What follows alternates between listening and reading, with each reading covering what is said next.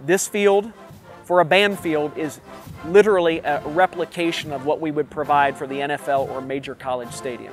Uh, the Cool Play technology is a, just that top granule in the three-layer infill system designed to help uh, with surface temperature. This surface will get very, very hot.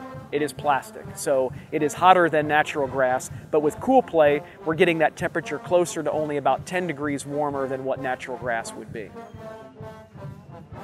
And the turf comes in rolls that are 15 foot wide, and we start at one end and we'll basically sew those all together with a cart-driven sewing machine that we ran all the way down to the other end.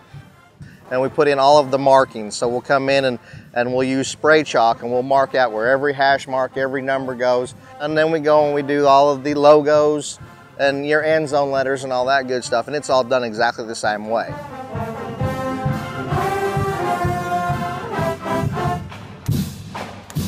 Lacrosse is very, very hard on a field, but the band is absolutely the worst. And the nature of it is because of repetitive motion with small steps and usually flat-soled shoes as opposed to a cleated shoe. So that constant repetition over a natural grass product is going to kill the grass. So having a band-specific field uh, in a product that you know will last at least 10 years, if not longer, um, is a real benefit because it will never get worn out.